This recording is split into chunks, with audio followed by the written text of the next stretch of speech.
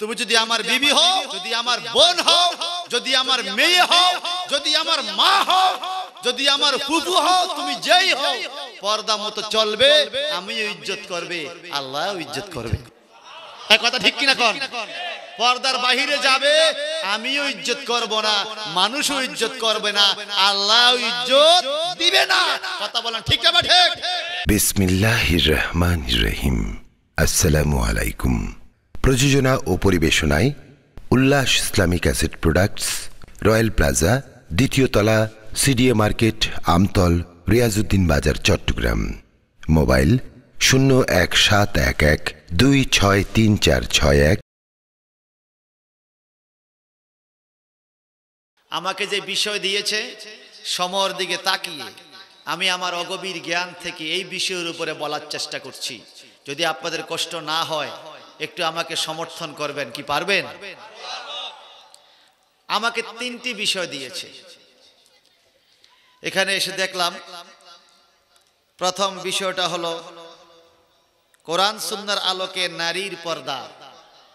এটা বড় dangerous it is dangerous subject for me in this time কারণ, বর্তমানে দুটি ওয়াজ করলে দুইটা ওয়াজ করলে পাবলিক হুজুরের প্রতি রাগ করে। সুদের ওয়াজ করলে পুরুষরা রাগ করে, পর্দার ওয়াজ করলে মহিলারা রাগ করে। ঠিক কিনা? আপনাদের এদিকে মনে রাগ করে না। সুদের ওয়াজ করলে পুরুষগুলো বলে, আমার ব্যবসার ক্ষতি হচ্ছে, এই হুজুরকে তাড়াও। পর্দার ওয়াজ করলে মহিলারা বলে, আমার মার্কেটিং এর সমস্যা হচ্ছে, এই হুজুরকে তাড়াও। এখন আপনারা আমাকে এই বিষয় দিয়েছেন কি তাড়াবের জন্ম কিনা জানি না। আমার দ্বিতীয় সাবজেক্ট হলো মা বাবার প্রতি সন্তানের দায়িত্ব কর্তব্য। এটা অত্যন্ত ভালো একটা বিষয়। আলহামদুলিল্লাহ বলেন। তৃতীয় সাবজেক্ট হলো বর্তমান প্রেক্ষাপটে এই অবস্থায় আমাদের করণীয় কি? এই বিষয়ে কোরআনুল কারিম থেকে আমি বলার চেষ্টা করছি। সবে একটা আমার সাথে পড়ুন। أعوذ بالله من الشيطان الرجيم.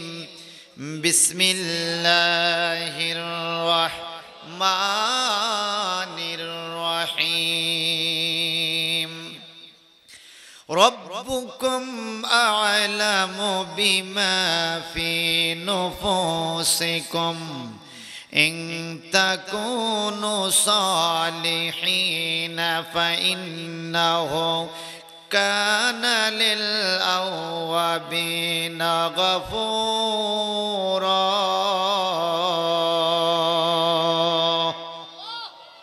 আমার আল্লাহ পাক বলেন রব্বুকুম আলামু তোমাদের মালিক জানে সুবহানাল্লাহ কোন আমাদের মালিককে আওয়াজ দিয়া কোন রব্বুকুম, তোমাদের মালিক, তোমাদের প্রতিপালক। কবরে গেলে প্রশ্ন করবে, মার রাব্বুকা? ওখানে আমি একা। এই জন্য কা শব্দ ব্যবহার হবে, একজন। এখানে বলতেছে, রব্বুকুম। কায়ের প্লুরাল হলো কুম। কা হলো সিঙ্গুলার, কুম হলো প্লুরাল। বহু বচন। বলে, রাব্বুকুম, তোমাদের মালিক জানে। বিমা ফি নফুসিকুম। তোমাদের মনে কি আশা, কি যন্ত্রণা, কি বেদনা নিয়ে তোমরা বসেছ? হ্যাঁ আল্লাহ বলে, আমি আল্লাহ প্রত্যেকের মনের বেদনা, মনের খবর জানি। জানে কি না? জানে? এ বিশ্বাস আছে তো? আল্লাহ পাক বলে, ইন তাকুনু গাফুরা।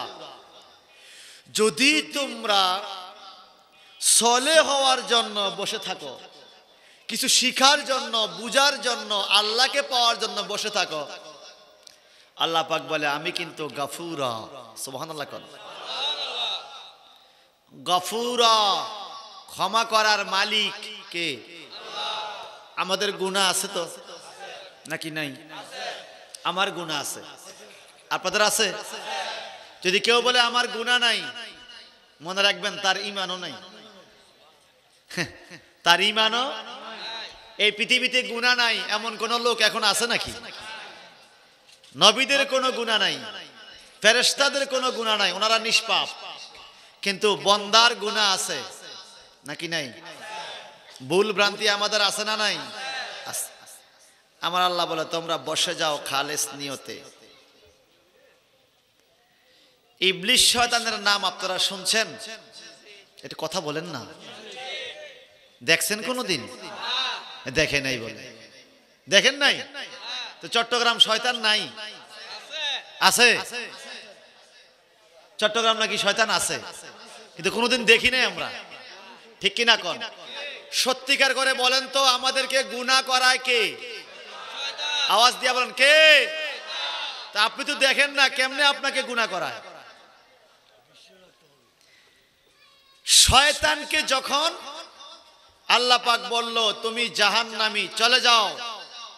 শয়তান বলল, আল্লাহ, লক্ষ লক্ষ বছর আবাদত করলাম, সব কি ডিলেট? বলে, ডিলেট না, ডিলেটেড। ডিলেট আর ডিলেটেডের পার্থক্য বুঝুন তো। পাস্ট টেন্স দিয়া, ডিলেটেড মানে ডিলেট হয়ে গেছে। বলে, আল্লাহ, কারণ কি? বলে, আমার সাথে তুমি বেয়াদবি করেছ, আমার হুকুম অমান্য করেছ, আদম নবীকে সেজদা করো না এই জন্য তোমার সব আবাদত বাদ। একটা হুকুম অমান্য করার কারণে শয়তানের সকল আবাদত বাদ। আমরা কি আল্লাহর সকল হুকুম মানি? অমান্য করি না? বলেন বলেন, করি না। ইবলিশ শয়তান ডেকে বলেন, মুসলিম শরীফের হাদিস ও আল্লাহ, তুমি বুঝি আমার সমস্ত আবাদত বাদ করে দিলা। আমি জাহান নামে চলে যাব, আমাকে তুমি ষাটটা ক্ষমতা দাও। কয়টা? কয়টা ক্ষমতা? চারটা ক্ষমতা দিব? হ্যাঁ দাও। কি চারটা ক্ষমতা? কেয়ামত পর্যন্ত আমাকে হায়াত দাও। আল্লাহ বলে, দিলাম। শয়তান এখন আছে। কথা কয় না। জিন্দা না মরা। আরে জিন্দা। শয়তান এখন কি? আল্লাহ বলে, দিলাম। বলে, দ্বিতীয় পাওয়ার। আমি পৃথিবীর যে কোনো জায়গায় যেন একই টাইমে থাকতে পারি, ক্ষমতা দাও। আল্লাহ বলে, দিলাম। আমার চাঁদপুরেও শয়তান আছে, চট্টগ্রামেও। আল্লাহ বলে, দিলাম। তৃতীয় ক্ষমতা কি? বলে আমি যেই কোনো টাইমে যেই কোনো লোকের যেই কোনো বস্তুর সুরুদ্দেন ধরতে পারি, আমাকে সেই ক্ষমতা দাও, আল্লাহ বলে দিলাম। তিনটা দিল। চতুর্থ ক্ষমতা কি? শয়তান বলে, মানুষের শিরায়, উপশিরায়, রক্তের সাথে যেন আমি মিশতে পারি, আমাকে ক্ষমতা দাও, আল্লাহ বলে দিলাম। কটা ক্ষমতা দিল? মানুষের রক্তের সাথে শয়তান আছে। চট্টগ্রাম মেডিকেল কলেজে ব্লাড পরীক্ষা করলে বিভিন্ন জীবাণু ধরা খায়। জীবনের শয়তান ধরা খাইছে, শুনছেন? কিন্তু শয়তান তো ব্লাডের সাথে আছে।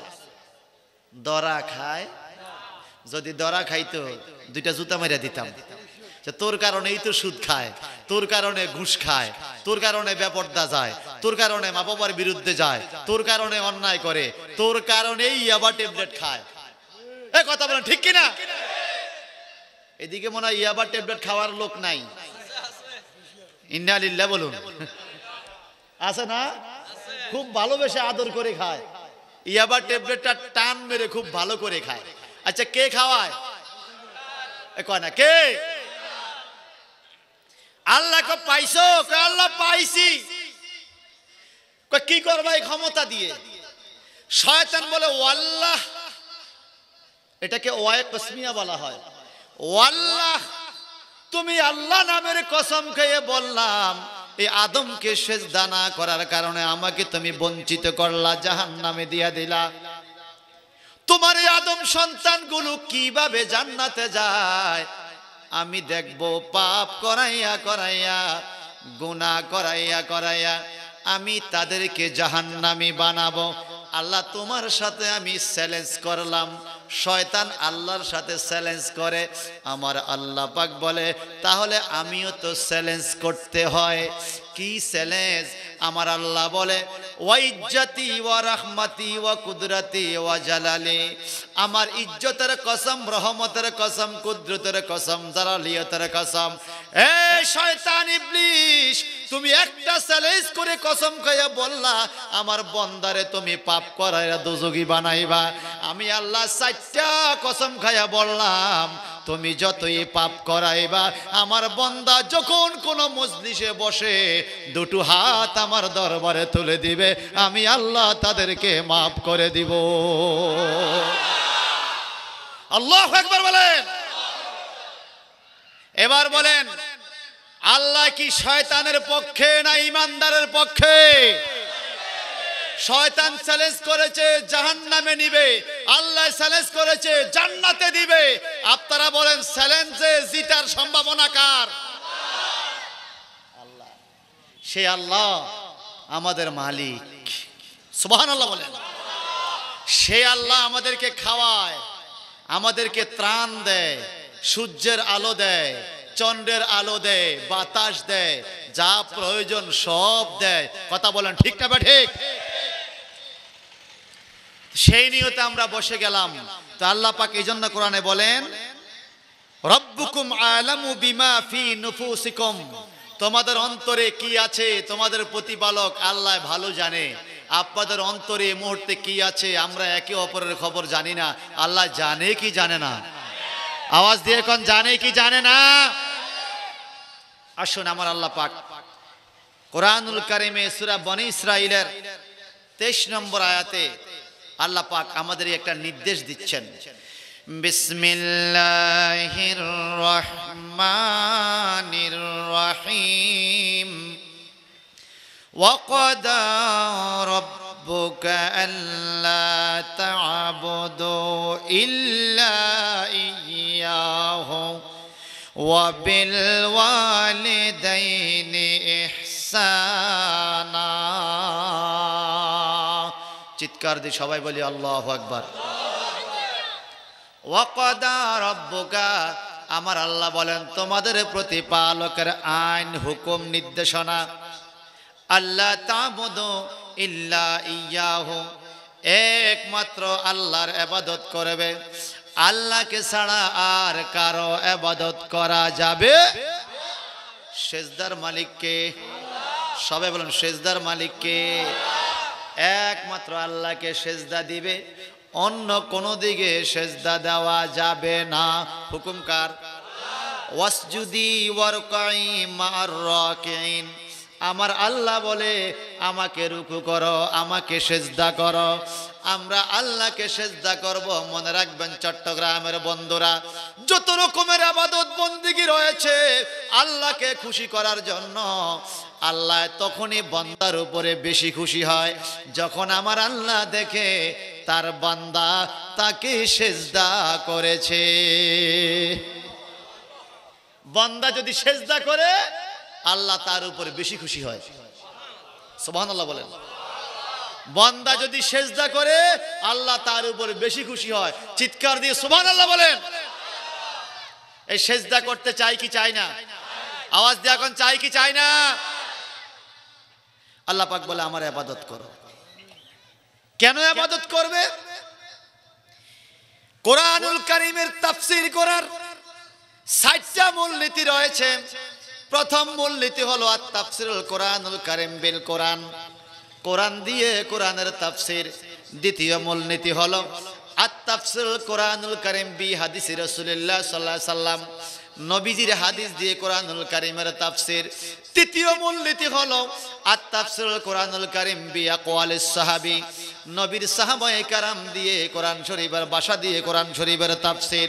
চতুর্থ মূলনীতি হলো আর তাফসিরুল কোরআনুল কারিম বি কাউলে মুস্তাহিদিন বি আকওয়ালে মুস্তাহিদিন। মুস্তাহিদগণের ইসলামী দার্শনিকদের মাঝাব তরিকতের ইমামগণের ভাষা দিয়ে কোরআন শরীফের তাফসির। আল্লাহ পাক আমাদেরকে হুকুম দিয়েছেন, আল্লাহর আবাদত করো। আমার নবী পাক যখন মক্কায় যেয়ে বলল তোমরা আল্লাহর আবাদত করো। ওয়াবুদু রাব্বুকুম তোমাদের মালিকের আবাদত করো। মক্কার মানুষগুলো বলে, এরে মোহাম্মদ, তোমার মালিক কে? বলে, আমার মালিক আল্লাহ। যদি আবাদত না করি তাহলে কি হবে? বলে, কেয়ামতের ময়দানে তোমাদেরকে শাস্তি দেওয়া হবে। আমার নবীকে প্রশ্ন করা শুরু করল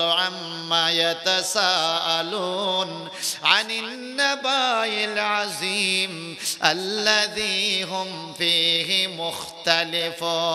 কাল্লা সায়ালামুনা ثم كلا سيعلمون সুবহান আল্লাহ বলেন বন্ধুরা আমার কাছে কোনো কাহিনী পাবেন না কষ্ট হয় আপনাদের আল্লাহ পাক বলে হাবিব আমি বলছি আবাদত করতে পৃথিবীর মানুষ আপনাকে প্রশ্ন করে কেন আবাদত করবে বলুন আমি তাদেরকে সৃষ্টি করেছি অনেক কিছু দিয়েছি এই জন্য আমার আবাদত করবে সুবহান আল্লাহ কর তাহলে কেয়ামতে শাস্তি হবে মানুষগুলো প্রশ্ন করা শুরু করল, কেয়ামত কবে হবে? মহাপ্রলয়ের প্রশ্ন। কেন? আল্লাজি এই কেয়ামতের ঘটনা নিয়ে এখতলাফ রয়েছে, দ্বন্দ্ব রয়েছে, তর্ক বিতর্ক রয়েছে মত পার্থক্য রয়েছে। কেউ বলে কেয়ামত হবে, কেউ বলে হবে না। চট্টগ্রামের মানুষ কি বলেন, কেয়ামত হবে? আসলে কি হবে? আল্লাহ হাবিবকে আল্লাহ বলে, হাবিব আপনি বলে দেন কেয়ামত কবে হবে। আপনারা বলেন, কেয়ামত কবে হবে? এই খবর কে জানে? আরে বলেন না। আপনারা কেউ জানেন না তো? এই সাবধানে কইন কথা। আমি কিন্তু এখন আপনাদেরকে প্রশ্ন করব। আল্লাহ পাক এরপর আয়াতে কি বলে? কাল্লা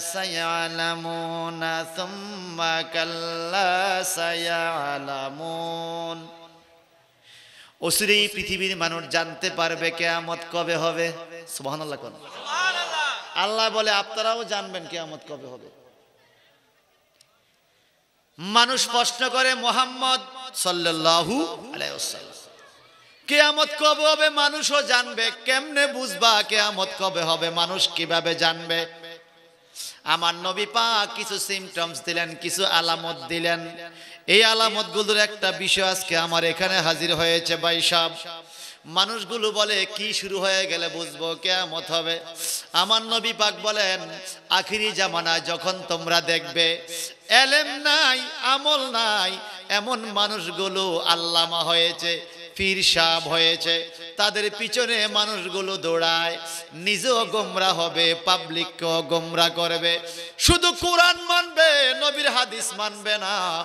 এমন একটা জামানা যখন শুরু হয়ে যাবে, বুঝবে এটা কেয়ামতের আলামত, চট্টগ্রামের বন্ধুরা, এরকম একটা জামানা বর্তমানে চলে কি চলে না? আখিরি জামানা দেখবে, যাদের পরনে গেঞ্জি ছিল না, পায়ে স্যান্ডেল ছিল না এক সময় তারা কোটি কোটি টাকার মালিক হয়ে যাবে, বড় বড় বাড়ির মালিক হয়ে যাবে। যাদের অনেক সম্পত্তি ছিল, তারা পথের ফকির হয়ে যাবে। এরকম যদি শুরু হয়, বুঝবে এটা কেয়ামতের আলামত। আপনাদের এই চট্টগ্রাম বিশ্ববিদ্যালয়ের আশেপাশে এমন মানুষ কি আছে? যাদের এক সময় অনেক সম্পত্তি ছিল, এখন গরিব হয়ে গেছে। যাদের সম্পত্তি ছিল না, তারা এখন অনেক বড় বড় বাড়ির মালিক হয়ে গেছে। এরকম পরিবার এলাকায় আছে না নাই? জোরে বলুন। এটা কিসের আলামত? কথা বলেন, কিসের আলামত? আমার নবীজি বলেন, আখিরি জামানা যখন তোমরা দেখবে হাটে, বাজারে, রাস্তাঘাটে দোকান পাটে পুরুষের তুলনায় মহিলার সংখ্যা বেড়ে গেছে। বুঝবে এটা কেয়ামতের আলামত। আমার চাঁদপুর শহরে বহু মহিলা দেখা যায় হাটে, বাজারে। আপনাদের চট্টগ্রাম শহরে মনে হয় মহিলা নাই। উনি বলতেছে, বেশি আছে। আপনি বাসা যাওয়া আজকে বাসা যাওয়া লাগবে? বাসা গেলে বলবে, আমি দেখছি। আপনি নিজেই হুজুরের পাশে বসে কইছেন, আমরা বাজারে যাই। সকালবেলা আপনার রুটি আমি বানাবো না। আপনি নিজে রুটি বানায় এখানে মুশকিল, পর্দার ওয়াজ করলে মুশকিল। সত্যিকার করে বলেন তো, ঘরের মধ্যে সবচাইতে দামি জিনিসটাকেই মানুষ লুকাইয়া রাখে। এ কথা বলেন। সবচাইতে দামি জিনিসটাকে গোপন রাখে, যেন মানুষ না দেখে। কথা কোন ঠিক কিনা? স্বর্ণের নেকলেসটাকে, হারটাকে এমন জায়গায় লুকা স্বামীও জানে না কোন জায়গায় লুকাইছে। এ কথা বলেন। এটা যেন কেউ নিতে না পারে। নিজের টাকাগুলো এমন যাওয়া জায়গায় লুকায়, মাঝে মাঝে ভুলে যায়, কোথায় যেন রাখছি। এ কথা ঠিক কিনা? পৃথিবীতে একজন স্বামীর সবচাইতে দামি সম্পদ হলো তার বিবি। এ কথা কয় না। আপনারা যারা ইন্টারে পড়েছেন, আমরা পড়েছিলাম ইন্টারে হৈমন্তী গল্পের মধ্যে। হৈমন্তী গল্পে অপু বলেছিল, এ আমার সম্পত্তি নয়, সম্পদ। মনে আছে আপনাদের কথাটা? যারা এখন হৈমন্তী গল্প পড়ায় কিনা জানি না। এ আমার সম্পত্তি নয়, সম্পদ। স্ত্রীকে সম্পদ বলেছে, সম্পত্তি বলে নাই। কেন? সম্পত্তি কিনা যায়, বেচা যায় চেঞ্জ করা যায়, কিন্তু সম্পদ কিনাও যায় না, বেচাও যেমন বিদ্যা অমূল্য সম্পদ। কিনাও যায় না, বেচাও। যদি বিদ্যা কিনা যাইতো, আপনার ছেলের মেধা কম, ব্রেন কম। ইউনিভার্সিটিতে গিয়া বলতেন, আমাকে দশ কেজি ব্রেন দেন। এটা কি সম্ভব? বেচাও সম্ভব না। ঠিক বিবি হলো সম্পত্তি। এটা কিনাও সম্ভব নয়, বেচাও সম্ভব নয়। যার বিবি যত বেশি ঢাকনায় থাকবে যার বিবি যত বেশি পর্দার ভিতরে থাকবে, ওই মানুষটাই নবী পাকের তত কাছে থাকবে। কারণ পৃথিবীতে আল্লাহর হাবিবকে আল্লাহ পাক কেন পাঠাইলেন? আল্লাহ পাক বলেন হুয়াল্লাজি বাসা ফিল উম্মিয়িনা রাসূলা। তিনি সেই সত্তা যিনি তার রসুলকে মূর্খ লোকদের কাছে প্রেরণ করেছেন। এখানে ফিল উম্মি উম্মিয়িনা রাসূলা। ভালো করে শুনুন। কোরআনুল কারিমে 28 পারা সুরা জুমার দ্বিতীয় নাম্বার আয়াত আল্লাহ পাক বলে ফিল উম্মিয়িনা রাসূলা উম্মিয়িনা মানে মূর্খ লোকদের কাছে আমি রসুলকে পাঠাইছি তাদেরকে পড়ানোর জন্য আল্লাহ বলে মূর্খ লোকদের কাছে রসুলকে পাঠাইছি আর বক্তায় বুঝছে মূর্খ কইরা রসুলকে পাঠাইছে এরকম বক্তা এই দেশে আছে না নাই C C C C C C C C. কেন পাঠাইছে আল্লাহ পাক বলে, ইয়াতলু আলাইহিম আয়াতিহি। পৃথিবীর মানুষকে আল্লাহর আয়াতগুলো তেলাওয়াত করে নবী শোনাবে। সুবহানাল্লাহ কোন। আর কি করবে?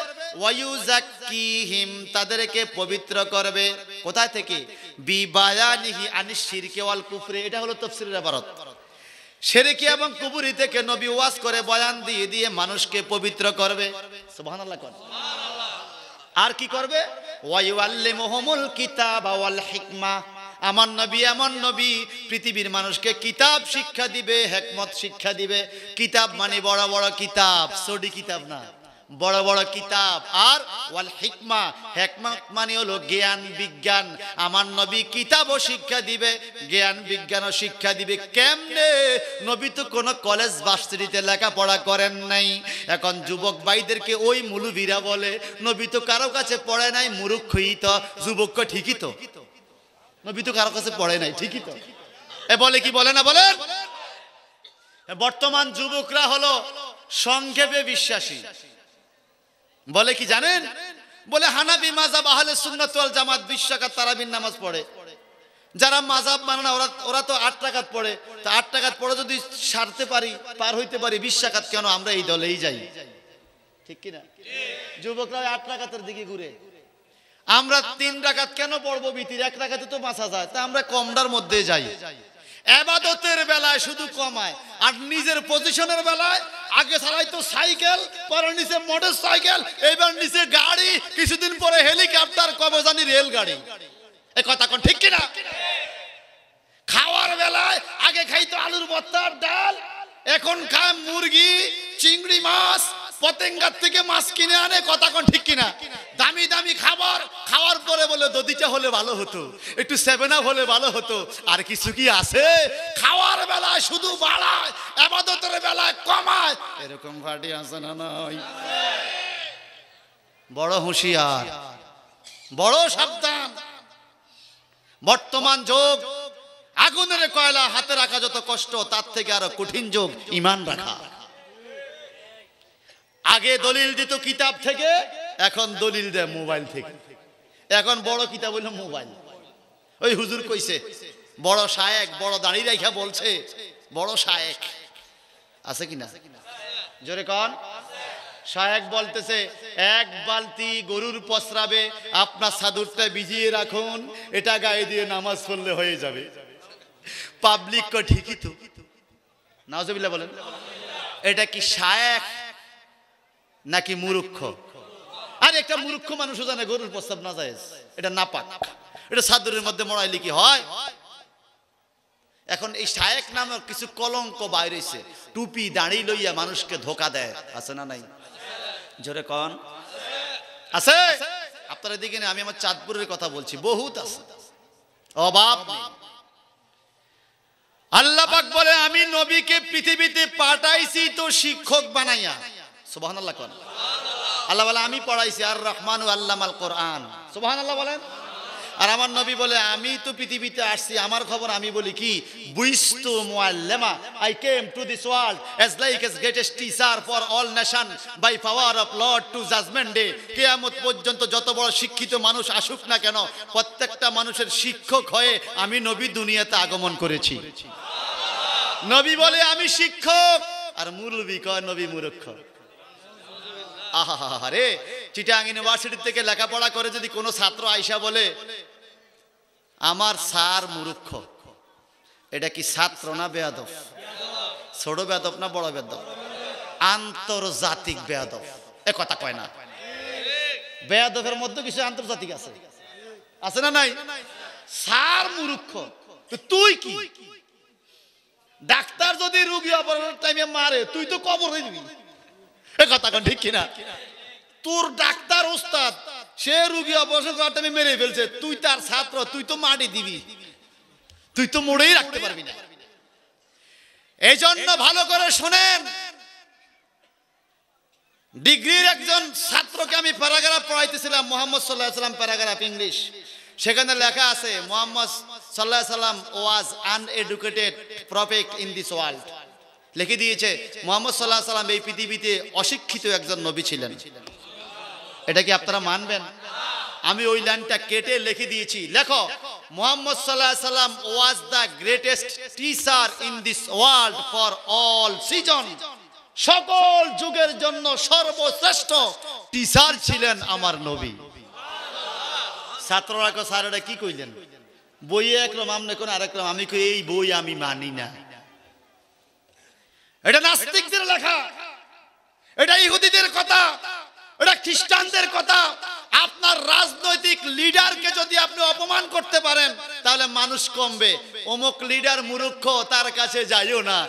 ইহুদি খ্রিস্টানরা যখন দেখেছে, দলে দলে, কাতারে কাতারে মানুষ মুসলমান হচ্ছে, প্রতিদিন হাজার হাজার মানুষ মুসলমান হচ্ছে, এখন মোহাম্মদের কাছ থেকে কীভাবে মানুষকে দূরে সরানো যায়? তখন টাকা দিয়ে কিছু এজেন্ট ফিটিং করেছে, টুপি, দাড়ি, পাগড়ি, ডিলা, কুলুকওয়ালা। এই এজেন্টদেরকে বলেছে, তোমরা এই কথাগুলো বলো। নবীর লেখাপড়া নাই, নবী মুরুক্ষ নবীর কাছে আর মানুষ যাবে না। ওই এজেন্টগুলো যতই বলুক, আমরা যারা নবীকে মহব্বত করি, আমরা কখনো তাদের কথা মানতে পারি। যে যাই বলো বলো আমরা নবীকে ভালোবাসবো। কি বলেন? কেউ কিছু বললে বলুক। আমি এই জন্য একটা সুর বানাইছি। তোমায় ভালো বাসে বলে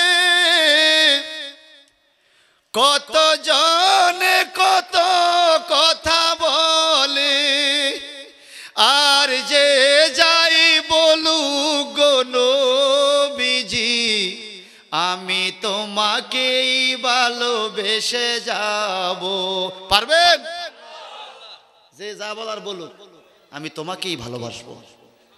সুবহানাল্লাহ বলেন। তাহলে আমার ভাইয়েরা, কেয়ামত হবে। এই আলামতের একটা আলামত হলো, নারীরা বেপর্দা চলা শুরু করবে। ঠিক না ঠিক স্বামীর কথা শুনবে না।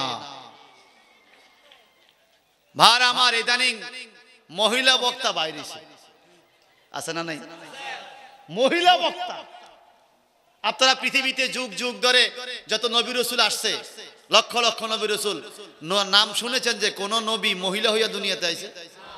বা কোন মহিলাকে আল্লাহ নবী করে পাঠাইছে? নাম শুনছেন? এটা বোঝা উচিত যে ওয়াজ করা পুরুষের দায়িত্ব। মহিলার দায়িত্ব ওয়াজ করা নয়। ওয়াজ করতে যায় স্বামীকে ঘরে রাখা ভালো করে শুনুন। কোন স্বামী স্ত্রী যদি ঘরের মধ্যে থাকে, স্বামী যদি স্ত্রীর সৌন্দর্য দেখে মুস্কি হাসি দেয়, স্বামীর মুস্কি হাসির সাথে সাথে এই মহিলা এই স্ত্রীর জীবনের সগিরা গুণাগুলো মাপ হয়ে যায়। কিন্তু বড় আফসোস লাগে, স্বামী আপনার সৌন্দর্য দেখে মুস্কি হাসি দিবে কোন সময়? বাজারের লোকেই তো হাইসা শেষ করতে পারে না। আরে কথা কয় না। আপনাদের এলাকা মহিলারা সাজগোজ করে বাজারে যায় কি যায় না? আওয়াজ দিয়ে কোন যায় কি যায় না? নারীরা সাজবে, নারীদের সাজগোজ করা এটা না জায়েজ নয়। শরীয়ত সম্মত যতটুকু সাজা দরকার সে সাজবে, তবে তার সৌন্দর্য দেখাবে তার ফ্যামিলির লোককে। তার ভাই দেখবে বোনটা সুন্দর দেখা যায়। ঠিক কিনা? দাদা দেখবে আমার নাতিন তো খুব সুন্দর করে সাজলো। স্বামী দেখবে আমার বেগম তো খুব সুন্দর করে সাজলো। বাজারের লোক যদি বলে, এই মহিলাটা সুন্দর করে সাজছে মুস্কি মুস্কি হাসে। স্বামী হাসলে গুণা মাপ হইতো, বাজারের লোক মুস্কি মুস্কি হাসে। গুণা মাপ হয় না যোগ হয়? আওয়াজ দিয়ে বলেন। আওয়াজ দিয়ে বলেন। এজন্য বিনা পর্দায় পর্দার বাহিরে মা বোনরা যাবেন না, অনুরোধ করছি। আমি একটা সাধারণ কথা বুঝি। এই চার কাপটা ঢাকনা আছে। আমি খুলবো, এই চাটা খেতে আমার কাছে রুচি লাগবে, এটা ঢাকনা আছে। কথা ক্লিয়ার যেই মহিলা ব্যাপারদায় চলে, তার কাছ থেকে স্বামীর রুচি দিন দিন উঠে যায়। স্বামীর মহব্বত তার কাছ থেকে কমে যায়। যতটুকু পর্দায় চলে স্বামীর মহব্বত তার কাছে তত বেশি লাগে। বলেন। কোন স্বামী আর স্ত্রী যদি উভয় মুসাফা করে, হাতে হাত ধরে, জায়েজ আছে? অনেকে মনে মনে ভাবতেছে, এটা কি হয় নাকি? স্বামী স্ত্রীর হাত ধরা স্ত্রী, স্বামীর হাত ধরা জায়েজ নাই? আর শুধু জায়েজ না, সুন্নত। কাবা শরীফের আঙ্গিরে যখন তোয়াব করবেন, সেখানেও দেখেছি হাজার হাজার স্বামী তার স্ত্রীর হাতে ধরে ধরে তোয়াব করাচ্ছে। যদি হারিয়ে যায় সেখানেও হাতে ধরা যায় যতক্ষণ পর্যন্ত স্বামী স্ত্রী উভয় উভয় হাতের মধ্যে ধরে রাখবেন রসুল পাক সাল্লাহ সাল্লাম বলেছেন, শীতকালে গাছের পাতা যেভাবে ঝরে পড়ে, স্বামী স্ত্রী হাতে হাত ধরে মুসাফা ধরে রাখলে এভাবে উভয়ের শরীরের গুণাগুলো ঝরতে থাকে। আরও জোরে বলেন। কপাল পোড়া বাঙালি, নিজের বেগম রে রাইখা ইউনিভার্সিটির ভাষা হাঁটতে যায় বান্ধবীর লইয়া। এ কথা বলেন। আছে না নাই? ভার আমার, স্বামীর প্রতি স্ত্রীর যেমন হক, স্ত্রীর প্রতি স্বামীর তেমন হক, আছে না নাই? আওয়াজ দিয়ে বলুন। প্রথম বিষয়টা আমি শেষ করে দিচ্ছি। আপনার বিবি সুন্দর করে সাজগুজ করুক, এটা কি আপনি চান না? একটু ব্রাশ করুক, একটু ভালো থাকুক, চান না? আমার নবী পাক বিবিদেরকে বলতেন, তোমরা সাজগুজ করো। আম্মা আশা সিদ্দিকার রাদিয়াল্লাহু তাআলা চুলগুলো আশ্রাইয়া সুন্দর করে সাজগুজ করে থাকতেন। হযরত হাফসা রাদিয়াল্লাহু তাআলা সাজগুজ করেছেন। সেই শানে কোরআনুল কারীমে সূরা নাজিল হয়েছে সূরা তাহারিম। সূরা তাহারিমের তাফসীর দেখলে আপনারা পাবেন। নবীর বেগমরাও সাজগুজ করেছে। কারণ তারা জানে নবীজি মুস্কি হাসি দিলেই গুনাহ মাফ হয়ে যাবে। বলেন। ভার আমার, বন্ধুরা আমার, এজন্য বলব আপনি যেরকম বিবিকের সুন্দর দেখলে আপনার ভালো লাগে, আপনার বেগমও চায় আপনি একটু সুন্দরভাবে থাকেন, পরিপাটি হয়ে থাকেন, আপনার যেরকম বেগমকে ভালো লাগবে, আপনার বেগমও আপনার প্রতি মায়ার নজর দিবে। যদি আপনি একটু পরিপাটি হয়ে থাকেন, প্রতিদিন বলেন, তুমি সাজগোজ করো। কিন্তু আপনি যে ছয় মাসে একবার শেভ করেন না, চার দিনে একবার ব্রাশ করেন না, বাহিরের থেকে সিগারেট টাইনা করে যান আপনার বেগম যে কত বড় কষ্টে আছে, এই মহিলা এই দুঃখ কারও কাছে বলতে পারে না। সিগারেট খাইয়া ঘরে যায় না? যায় না? মহিলারা কি সিগারেটের গন্ধ পছন্দ করে? আপনি যে বলতেছেন, আপনার বিবি সুন্দর করে থাকবে। আপনি যে সুন্দর করে থাকেন না, এই দুঃখ বিবি কার কাছে এখন কিন্তু চট্টগ্রামের মহিলারা খুশি হইতেছে। যে আমার সাহেব যাই প্রতিদিন বিড়ি টাইন ঘরে আসে। আজকে খবর আছে। ভার আমার ঘরে গিয়ে মুসাফা করবেন। আলহামদুলিল্লাহ বলেন। মোহব্বত বাড়ে না কমে। যেরকম বাড়ে না কমে। আজকে ঘরে গিয়ে প্রথম বলবেন হাতটা বাড়ায় দাও আমি তোমার সাথে মুসাফা করব। হুজুর কইছে সগিরা গুনাহ মাফ হয়ে যায় তখন আপনার বেগম বলবে বিয়ে হয়েছে ছত্রিশ বছর। আজ পর্যন্ত এই মোহব্বত দেখলাম না আজকে ওয়াজ খুললে যদি আপনি মোহব্বত লাগাইতে বাবা, শুরু করেন না, আমল শুরু করেন। বরকত দেওয়ার মালিককে আল্লাহ। আমার ভাইয়েরা, আসুন একটা ঘটনা বলে আমি মা বাবার খেদমতের দিকে যাই। আমার আল্লাহ বলে লাকাদরা আমিন আয়াতে রব্বিহিল কোবরা। মেরাজের রজনীতে আল্লাহ পাক আল্লাহর নবীকে অনেক বড় বড় নিদর্শন দেখাইলেন। জান্নাত দেখাইলেন, জাহান্নাম দেখাইলেন। জাহান্নামের ভিতরে যখন আমার নবী গেলেন চোখের পানি ছেড়ে ছেড়ে কান্না শুরু করলেন।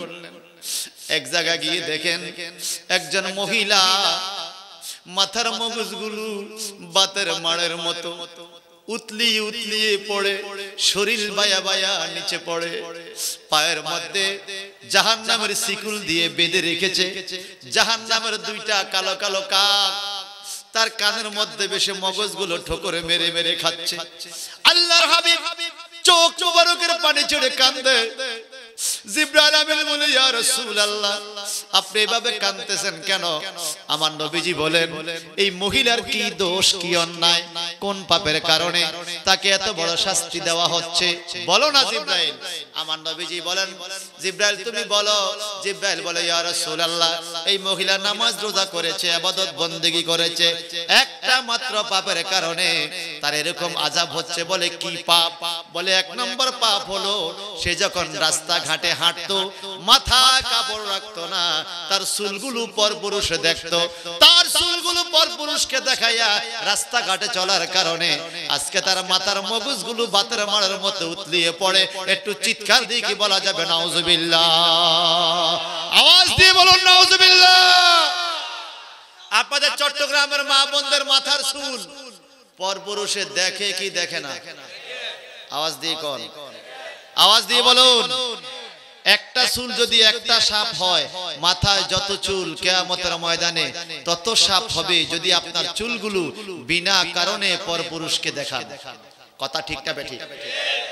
এদানিক আবার নতুন ডিজিটাল সিস্টেম শুরু হয়েছে। ওর না গায়ে না দিয়ে মাথার মধ্যে পাগড়ি পেঁচায়। এক কেজি লাগে ফেরাক। এ কথা কয় না। এটা চট্টগ্রাম আসছে কিনা জানি না। আমার চাঁদপুরে দেখছি। ওর নাকি শুধু মাথার মধ্যে ঘুরাইয়া ঘুরাইয়া এটা কি পেঁচাইতে থাকে? জলুই মারতে আধা ঘণ্টা লাগে। ফেরাক মারতে আধা ঘণ্টা লাগে নাই ফেরাক মারতে। এ কথা কয় জোরে কর আত্মীয়র বাদ গেলে এগুলা খোলে স্তূপ দিলে হিসাব করলে দেখা যায় আধা কেজি এক কেজি হয়ে যাবে। শুধু জলই ফেরাক। ফেরাক। বুঝেন তো? ফেরাক বুঝেন না? আপনাদের সেটাকে কি বলে? ফেরাক বলে। আমাদের দেশে বলে। জলুই ফেরাক। হায় হায় হায় ওর ওনা যেভাবে ব্যবহার করার কথা, সেভাবে ব্যবহার করছে না। বড় দুঃখ লাগে, পুরুষদের টাই মহিলা দখল করে নিয়ে গেল। পুরুষের জিন্সের প্যান্ট মহিলা দখল করে নিয়ে গেল। পুরুষের শু মহিলা দখল করল, শার্ট দখল করল, গেঞ্জি দখল করল ক্যাব দখল করল। এখন দেখি পাগড়িটাও নিয়ে গেল, আমাদের আর রইল কি? পাগড়িটাও নিয়ে গেল, আমাদের আর রইল কি? চিৎকার দি কন্যা নাউজুবিল্লাহ। আরও জোরা কর নাউজুবিল্লাহ। আমি একটা চন্দ তৈরি করেছি। নিঃশ্বাসের বিশ্বাস কইরা গো। বানলাম বাড়ি গো।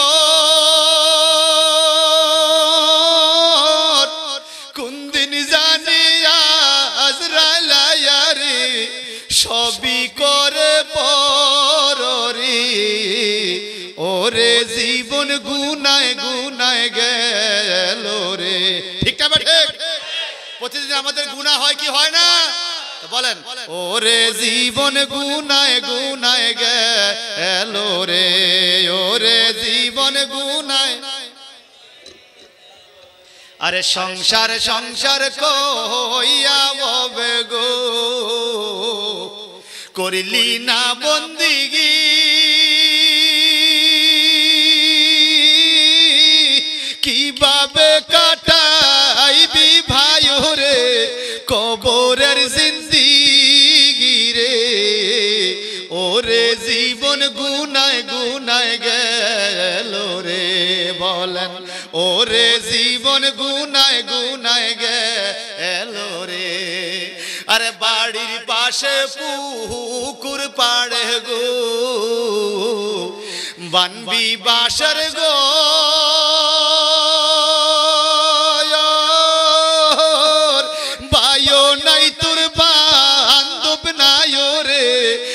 লইবে খবর রে।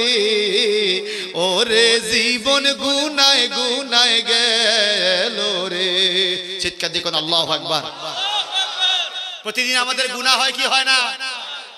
মাদর মা বোনদেরকে বলবেন, তুমি যদি আমার বিবি হও, যদি আমার বোন হও, যদি আমার মেয়ে হও, যদি আমার মা হও, যদি আমার ফুফু হও, তুমি যেই হও পর্দা মতো চলবে, আমিও ইজ্জত করবে আল্লাহ ইজ্জত করবে।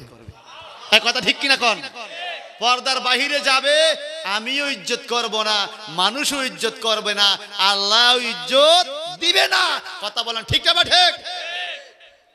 নবী পাক বসে আছেন। উম্মে মাকতুম রাদিয়াল্লাহু তাআলা অন্ধ সাহাবী। যার শানে আল্লাহ পাক কোরআনুল কারীম, আয়াতে কারিমা দিয়েছেন, আবাসা ওয়া তাওয়াল্লা আন জাআহুল আমা। সুবহানাল্লাহ কোন। আমা মানে অন্ধ জন্ম অন্ধ। আব্দুল্লাহ ইবনে উম্মে মাকতুম আমার নবীজির দরবারে আসতেছে। নবীজির কাছে উম্মে সালমা ময়মুনা নবীর বেগমরা পরিবারের মহিলারা বসে আছে।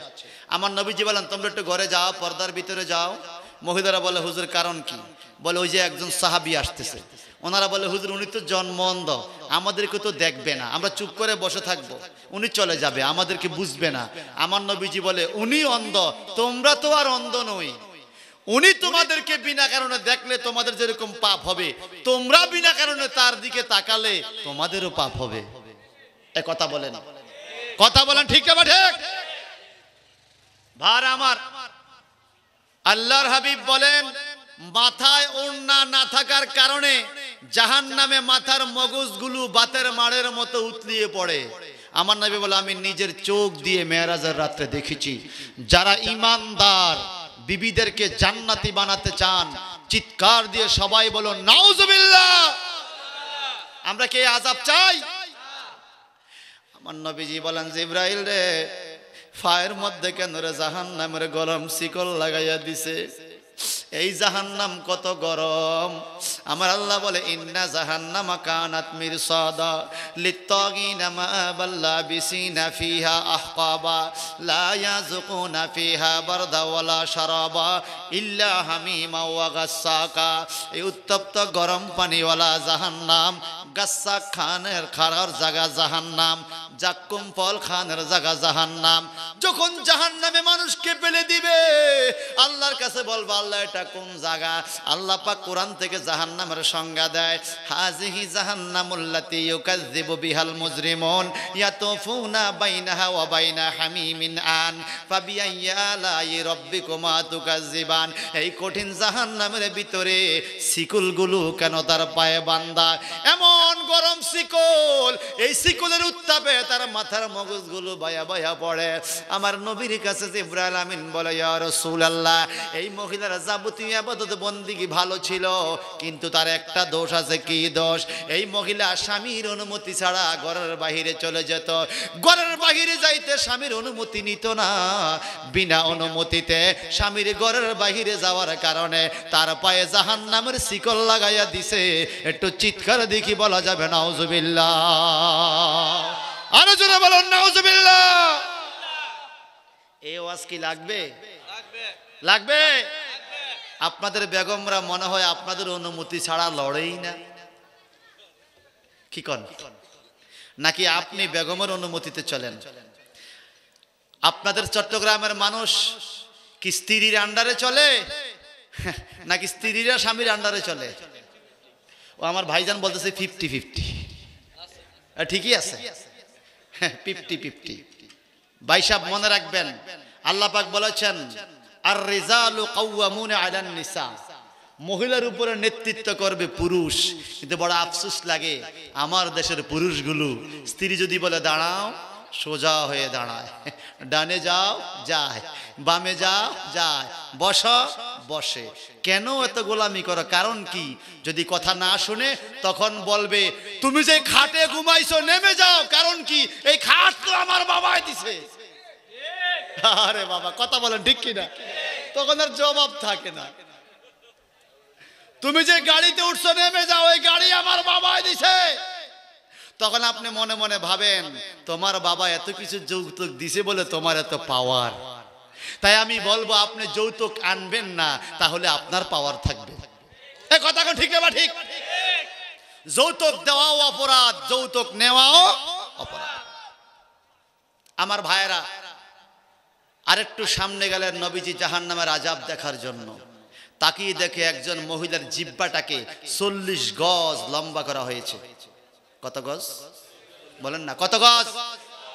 জিব্বার গোড়ায়, গোড়ার মাথায় একটি জাহান নামের আগুনের ফেরাক, জিব্বার মাথায় একটি প্যারাক জিব্বাটা তামার জমিনে লেগে যাচ্ছে, উত্তপ্ত গরম তামার জমিনে। জিব্বা লাগতে দেরি, সিদ্ধ হয়ে যায়। ধোঁয়া বাইর হয়। আবার ফেরেস্তারা খুলে জিব্বাটাকে ওই পিঠ, উপরের পিঠ নিচে দিয়ে আবার পড়া দিচ্ছে। মহিলার এত কষ্ট কেন? জিব্রাইল বলো না, এত কষ্ট কেন? জিব্রাইল আমিন বলি রসুল আল্লাহ এই মহিলা যখন ঘরে থাকতো, তার কণ্ঠের আওয়াজটা বড় ছিল। মানুষজন যখন ঘরের পাশে দিয়ে যাইতো, তার কথার আওয়াজটা পরপুরুষের কানে যাইতো। এই জন্য তার এই আজাব বলন, চট্টগ্রামের মানুষ চট্টগ্রামের মানুষ আপনাদের এলাকা মা বোনদের কণ্ঠের আওয়াজ ঘরের বাহিরে যায় কি যায় না? আসতে বলেন আসতে বলেন শুনবে তো। যায় কি যায় না? মনে মনে ভাবছেন ঘরের বাইরে যাবে কোত্থেকে? হে তো ঘরের বাইরেই থায় এ তো থাই ঘরের বাইরে। কথা বলেন ঠিক কিনা? ভাই সাহ আমরা হুঁশিয়ার হওয়া দরকার। যেই বেগম আপনাকে রান্না করে খাওয়াবে যদি আপনার বেগম দায়ুজ হয়ে যায় ব্যাপারটায় চলে, আপনি দায়ুজের হাতের রান্না খেয়ে নামাজ পড়লে কি নামাজটা পরিপূর্ণ হবে? তারপরে এবাদত তো নষ্ট হয়ে যাচ্ছে বেগমের কারণে। এই অনুরোধ করব, বেগমদেরকে সামলান।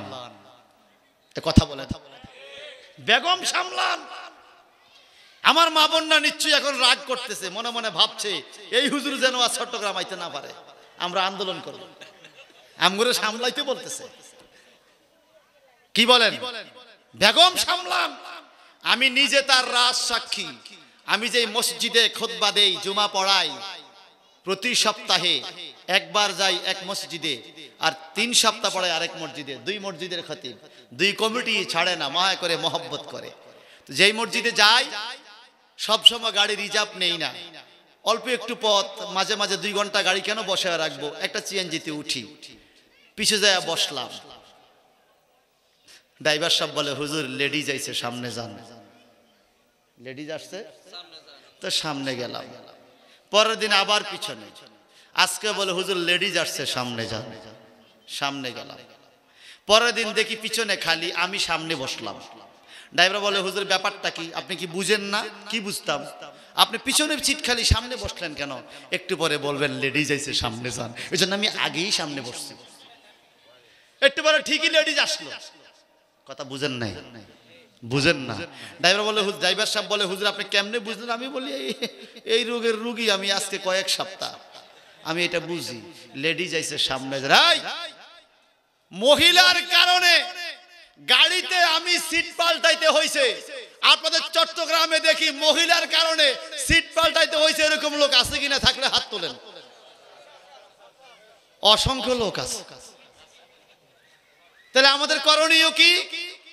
যদি আমরা রাস্তা সিট পাইতে হয়, মহিলাকে ঘরে রাখতে হবে। যদি আবাদত কবুল করাইতে হয়, মহিলাকে ঘরে রাখতে হবে। যদি জাহান নাম থেকে নিজে বাঁচতে হয়, মহিলাকে পর্দায় রাখতে হবে। এই কথা রাজি আছে